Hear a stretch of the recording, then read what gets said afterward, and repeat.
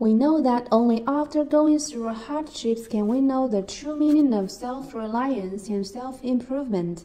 In the field of automatic door units, we focus on improving technology and quality because we firmly believe that when the product is truly perfect, the recognition and trust of customers will come.